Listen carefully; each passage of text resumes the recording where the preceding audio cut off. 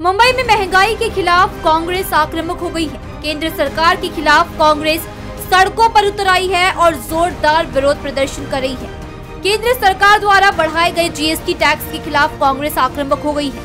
कांग्रेस ने ईंधन की कीमत में वृद्धि के साथ साथ केंद्र सरकार की विभिन्न योजनाएँ, महँगाई, बेरोजगारी, अग्निपथ योजना के साथ साथ आवश्यक वस्तुओं पर जीएसटी बढ़ाने का विरोध किया है। इस मौके पर जमकर नारेबाजी भी की गई। इस आंदोलन में कांग्रेस के पूर्व मुंबई अध्यक्ष संजय निरुपम सहित कांग्रेस नेता और कार्यकर्ताओं ने बड़ी संख्या में भाग लिया। यह आंदोलन राजभवन के बाहर किया गया, हालाँकि पुलिस ने निरुपम और कांग्रेस कार्यकर्ताओं को हिरासत में ले लिया। कांग्रेस महँगाई के खिलाफ न सिर्फ़ राज्य में, बल्कि पूरे देश में विरोध प्रदर्शन कर रही है, जिसके तहत राष्ट्रपति भवन में मार्च निकाला गया।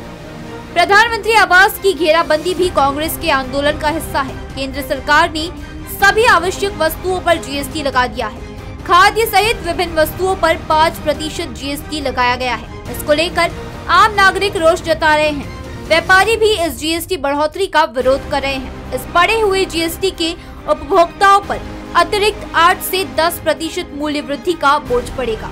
इसीलिए आम नागरिकों की ओर से कांग्रेस द्वारा विरोध प्रदर्शन किया जा रहा है।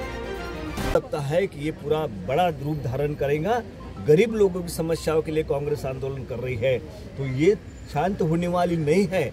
यहाँ से नेहरू अपना कमला नेहरू पार्क यहाँ पे जो मलबार हिल में है यहाँ से राजभवन में वहाँ पे हमारे कार्यकर्ता जाएँगे और ज़रूर जाएँगे। कितना भी दबाने की कोशिश की तो राजभवन मुंबई के लिए राजेश सोनी की रिपोर्ट।